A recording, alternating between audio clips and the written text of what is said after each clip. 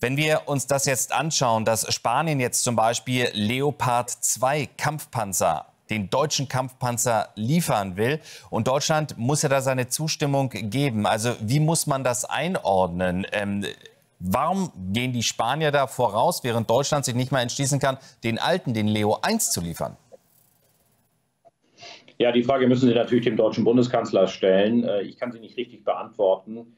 Äh, wir haben ja eine seit Monaten andauernde Diskussion darüber, dass Deutschland endlich schwere Waffen liefern sollte. Der Deutsche Bundestag hat das dann auf unseren Antrag hin vor über einem äh, Monat auch beschlossen. Nur was nicht geschieht, ist, dass die Bundesregierung sich danach verhält.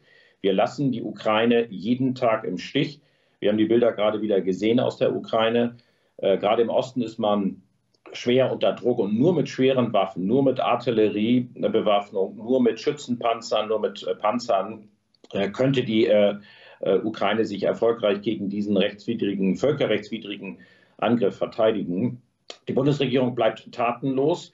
Das ist die Verantwortung des Bundeskanzlers. Aber ich muss auch den Koalitionspartnern FDP und Grünen an der Stelle klar sagen, es gibt viele gute Interviews aus ihren Reihen. Sie sind aber mitverantwortlich dafür, dass die Bundesregierung zum jetzigen Zeitpunkt nicht handelt und jetzt Spanien vorangeht. Da ist das Mindeste, was man machen muss, äh, dass man Spanien, weil die Waffen ja aus Deutschland ursprünglich kommen, genehmigt, dass sie nach, äh, in die Ukraine geliefert werden.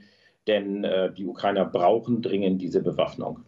Aber Herr Wadefuhl, wie erklären Sie denn dieses Zögern des Bundeskanzlers? Glauben Sie tatsächlich, wie es die Staatssekretärin im Verteidigungsministerium gesagt hat, dass die NATO sich darauf geeinigt hat, dass wir keine schweren Waffen liefern? Das ist doch auch hinfällig. Es werden doch Gepard-Panzer geliefert. Die Briten liefern moderne Raketenabwehrsysteme, genauso wie die Vereinigten Staaten. Und dann kann ein Leo 2 nicht geliefert werden?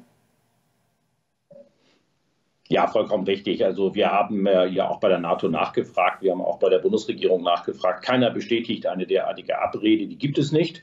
Die NATO ist überhaupt gar kein äh, Partner äh, in der Auseinandersetzung äh, mit äh, Russland, sondern das ist eine nationale Entscheidung und das ist nur eine weitere Ausrede, die der SPD-Teil der Bundesregierung hier ganz offensichtlich sucht. Äh, Friedrich Merz hat Olaf Scholz in der letzten Bundestagsdebatte letzte Woche gefragt, ob er eine eigene andere Agenda habe. Äh, wir haben keine Antwort bekommen. Wir wissen es bis heute nicht. Ähm, die SPD hat immer eine große Moskau-Nähe gehabt und Gesprächskanäle gehabt. Es ist immer richtig zu sprechen. Nur an dieser Stelle muss man einfach sagen, Russland führt einen brutalen Eroberungskrieg. Und wenn wir den jetzt in der Ukraine nicht stoppen, dann wird der weitergehen äh, und dann zerstört das die europäische Friedensordnung, die wir seit dem Zweiten Weltkrieg und insbesondere nach dem äh, Fall des Eisernen Vorhangs hatten. Und deswegen Deutschland ist hier gefordert. Der Bundeskanzler ist gefordert. Er reist heute ins Baltikum, ein gutes Zeichen. Nur den Zeichen müssen endlich wirksame Taten an der Seite der Ukraine folgen. Deutschland bleibt hinter allem zurück, was unsere westlichen Partner machen. Äh, Sie haben es auch gerade nochmal genannt. Äh, die Großbritannien, Frankreich, Spanien, alle helfen entschlossen. Nur das zentrale, das wichtigste Land in Europa, das größte Land, das auch Führungsanspruch immer für sich geltend gemacht hat, das bleibt tatenlos. Und das ist die Verantwortung der Bundesregierung. Ja, Sie haben es eben angesprochen, der Kanzler reist ja heute nach Litauen, um sich die NATO-Ostflanke ein bisschen genauer anzuschauen und auch mit den drei baltischen Staaten konkret, mit den Regierungschefs dort intensive Gespräche zu führen. Erwarten Sie tatsächlich, dass dann auch so eine Art Umdenkungsprozess vielleicht bei Olaf Scholz einsetzen kann, wenn er tatsächlich mal an der NATO-Ostflanke steht und sieht, wie brenzlig die Situation ist?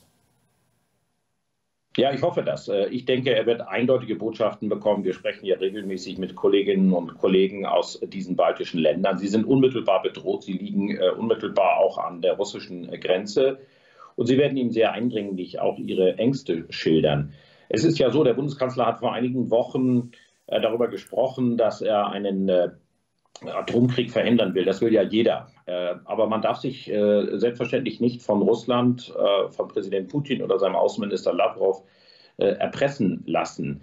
Wissen Sie, wenn man in der Ukraine Angst vor einem Atomkrieg hat, was will man dann den Balten, die Olaf Scholz jetzt besucht, ernsthaft sagen? Will man denen sagen, wenn bei euch ein russischer Angriff stattfindet und sei ja auch nur begrenzt und würde nur einige wenige Quadratkilometer betreffen, dass man äh, dann äh, äh, nicht einträte in eine militärische Auseinandersetzung, obwohl NATO-Gebiet betroffen ist. Also äh, das kann man doch nicht äh, verantworten. Es ist ganz grundsätzlich so, man darf sich von Putin nicht einschüchtern lassen. Man muss ihm konsequent und hart entgegentreten. Wir haben keine kriegerische Auseinandersetzung gesucht, die Ukraine hat sie nicht gesucht. Aber wir stehen jetzt solidarisch an der Seite der Ukraine, denn die Ukraine verteidigt unsere Friedensordnung, verteidigt am Ende Europa gegen einen Aggressor, äh, dem offensichtlich fast jedes Mittel recht ist. Und je früher wir ihn stoppen, äh, umso sicherer für uns alle in ganz Europa. Das sind natürlich auch die politischen Folgen dieses Ukraine-Krieges, der Europa natürlich weiter in Atem hält, Herr Wadefuhl. Aber wir müssen auch mal auf die wirtschaftlichen Folgen gucken. Also die Energiepreise steigen immer weiter, auch die Lebensmittelpreise steigen. Und jetzt gibt es ja bei SPD und Grünen die Forderung, dass die Konzerne, wie zum Beispiel die Mineralölkonzerne, dass wenn die Gewinn machen, dass es dann eine Übergewinnsteuer geben muss. Selbst die FDP sagt, nee, kann nicht sein. Wie stehen Sie denn als Union zu diesem Thema? Na, ich glaube, wir haben ein Kartellamt, was sehr genau prüft, äh, ob es Preisabsprachen äh, gibt. Äh, dessen Mittel müssen vielleicht geschärft werden. Aber ich bin in dieser Situation nicht dafür, dass wir Steuern erhöhen. Die Auseinandersetzung zeigt einmal mehr, die Ampel ist sich nicht mehr einig. Die FDP verfolgt eine völlig andere Agenda äh, als SPD äh, und äh, Grüne. Und das zeigt schon, dass noch nicht mal nach einem guten halben Jahr diese Koalition schon große Schwierigkeiten äh, hat, gemeinsam Regierungspolitik zu formulieren. Wir müssen die Bürgerinnen und Bürger entlasten.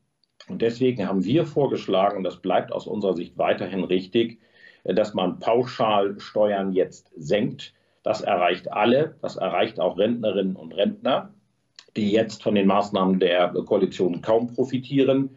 Und das wäre das, äh, die richtige Antwort auf diese Krise, die hoffentlich bald überwunden ist und nochmal, sie ist äh, umso schneller überwunden, je wirkungsvoller wir Putin entgegentreten. Johann Wadewohl, ich danke Ihnen für das Gespräch. Gerne.